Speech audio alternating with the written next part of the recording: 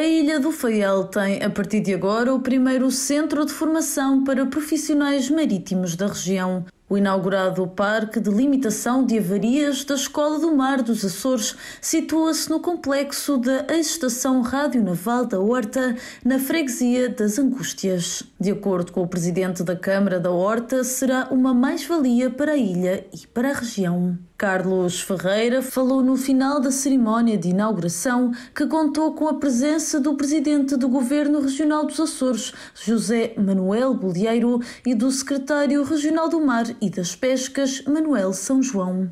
Na sua intervenção, o presidente do governo regional mostrou-se satisfeito e orgulhoso com o caminho percorrido. O centro vai ter capacidade para 32 formandos em simultâneo e também irá acolher ações formativas. Em 2011, os serviços urbanos da Câmara Municipal de Ponta Delgada recolheram 403.860 quilos de resíduos orgânicos de um total de 112 entidades, nomeadamente 17 escolas e 95 estabelecimentos de restauração, cantinas e hotelaria.